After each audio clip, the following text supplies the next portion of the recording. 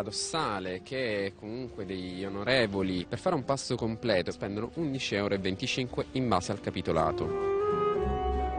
Questa è la cifra che serve per garantire i prezzi del menù. La differenza, mi pare di capire, la paghiamo noi come cittadini? Sì, in teoria la, la, differenza la paghiamo noi perché questa cifra viene versata quindi mensilmente alla ditta per garantire questi prezzi. E praticamente questa cifra annualmente diciamo, si gira intorno ai 300.000 euro all'anno che per 4 anni siamo circa a 1.200.000 euro.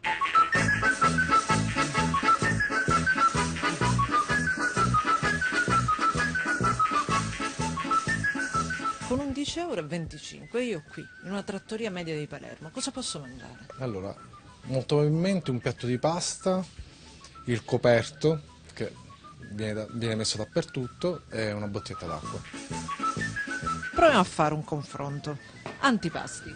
Antipasti, secondo quindi praticamente la, la quota a carico dei deputati di 1,50 euro, quota media va da 7 a 8 euro.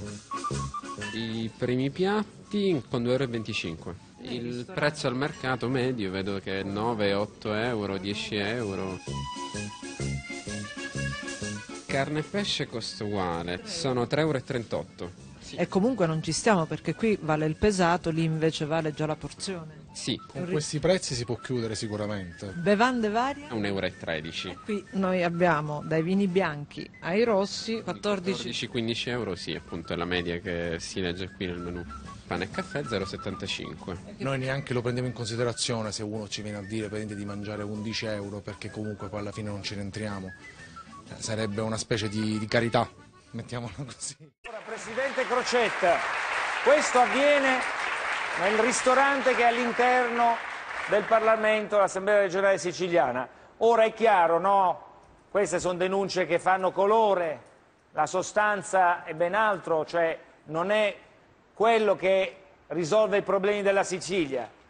Però vorrei capire se poi unendo tutte queste situazioni, io non lo so, ma a nessuno viene pagato, credo, cioè uno che va a lavorare, non è che quello gli paga il mangiare, se ha una grande ritribuzione, no? perché loro prendono sui 10.000 euro al mese, in più gli paghi il mangiare, in questo periodo fa, fa, non si risolvono i problemi, però Crocetta qualcosa mi deve dire. Io trovo scandaloso queste, queste forme ancora di, di privilegi diciamo, della casta. Al Parlamento europeo, per esempio, al quale io appartenevo sino a qualche giorno fa, tutto questo non accadeva. Pagavamo regolarmente il ristorante come tutti gli altri, per chi voleva risparmiare c'era, c'era il self-service diciamo, che viene anche riservato a tutti i parlamenti. Molti parlamentari sinceramente per un fatto democratico preferivano anche andare insieme agli assistenti e a tutti gli altri piuttosto che godere dei privilegi, ma in, in termini di costo era, era, molto caro il ristorante del Parlamento, cioè è molto ecco, caro. ma ce la fa costa mettere... esattamente, costa esa... il Parlamento europeo naturalmente. Quindi verrà chiusa... Costa Presidente... esattamente quanto fuori mangiare. Ma... Io ce la farò se ce, ce la farò a cambiare, ma penso di sì, già col Presidente dell'Assemblea. Scusi Presidente, chiuderà la buvette e soprattutto cosa ne sarà degli stipendi dei consiglieri, dei deputati regionali che rimangono così alti? Cioè verranno sì o no dimezzati?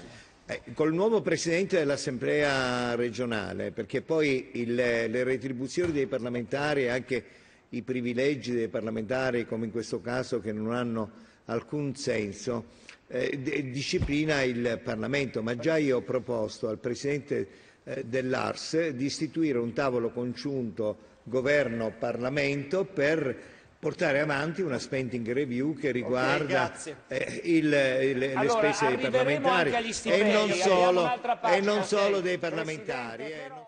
I dipendenti debbono prendere degli stipendi giusti, ma non possono essere anche loro oggetto di privilegi, perché lì all'Ars negli anni si sono stabilite delle cose terrificanti, cioè con dei costi, il segretario che costa i 600.000, poi gli uscieri che costano come quelli del, del Senato, poi gli assistenti e i funzionari la stessa cosa, alla fine i pasti privilegiati per i deputati, alla fine questa struttura costa tre volte tanto quello che dovrebbe, dovrebbe costare Un e questo è solo, Un allucinante. attimo solo, Manuela.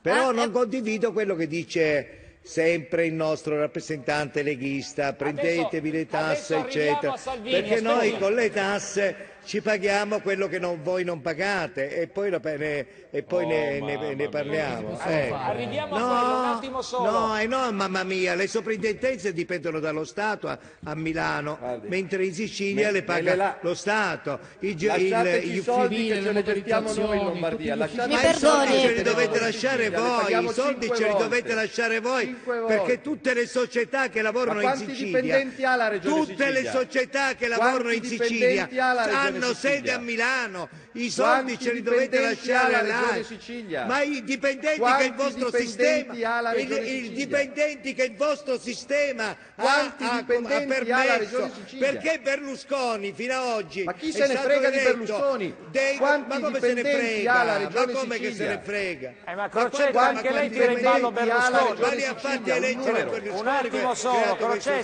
sistema. Crocetta, Ma dicano un attimo. me che sono Quanti arrivato un mese Anche fa. lei mi tira- Regione Dicano Sicilia? domandi a me che, che sono arrivato un mese fa.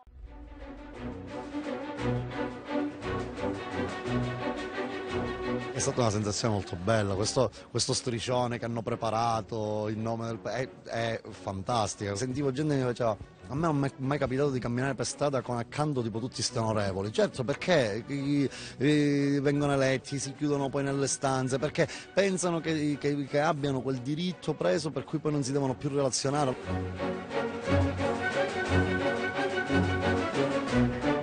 Giannina Ciancio, ho 22 anni e sono, ero studentessa. Vanessa Ferreri, Acate in provincia di Ragusa. Niente, io fatto- lavoravo in un negozio, in una pelletteria e soprattutto facevo la mamma. C'è anche la paura di fallire, di non farcela, la paura di diventare come gli altri. No, paura di diventare come gli altri no, perché cammini con la schiena dritta, per cui non, non la paura di diventare, c'è la paura di fallire, c'è la paura di non riuscire ad incidere così bene per- e poi praticamente di sentirti dire ah, però non hai fatto niente. Questa chiaramente c'è la paura. Ed è una paura però di quelle eh, che ti accendono l'adrenalina, ti fanno lavorare ancora di più.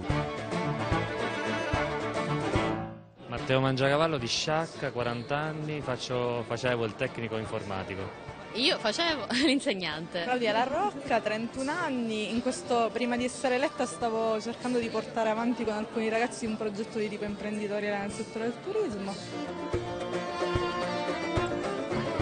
Dopo un mese e mezzo dall'elezione siciliana, vi siete detti perché avete preso così tanti voti come Movimento 5 Stelle sull'isola?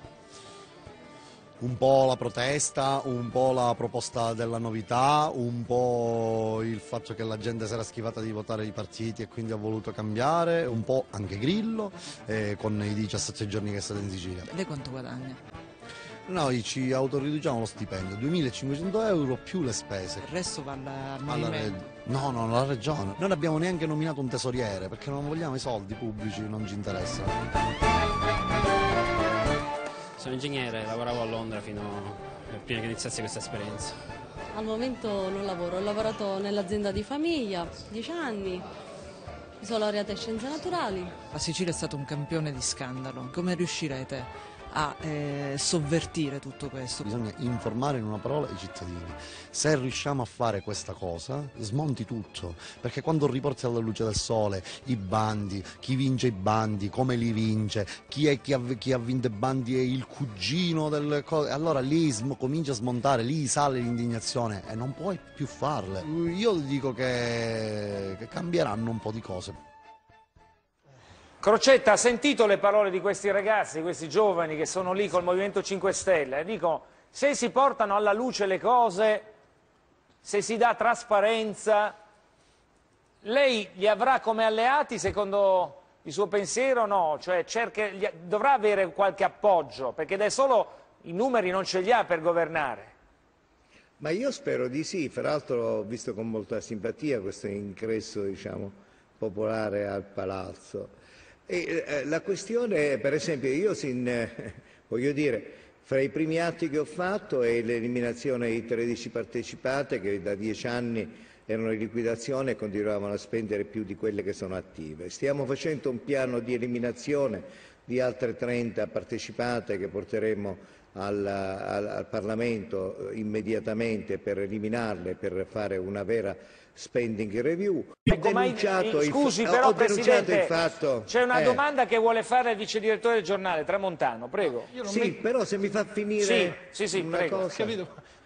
Volevo di- finire. Eh, in, in questi giorni abbiamo scoperto che c'era una ditta dal 94 che praticamente non, pagava- non ha pagato circa 30 milioni di euro sui biglietti dei siti archeologici e io la sto facendo cacciare. L'altro giorno ho scoperto che i soldi del- della, de- alcuni fondi della della formazione finiscono nei conti correnti dei dipendenti. Io mi trovo di fronte a un sistema che è completamente malato e le cui complicità sono alte, perché quanto qualcuno pensa che da Roma o da Milano non c'entra affatto nulla, si sbaglia, perché le complicità con questo sistema di, di gruppo dirigenti siciliani sono stati anche, sono venute in- da lontano, anche da Roma, le protezioni di, questi- di questo sistema. Su questo io intento eh, non transigere.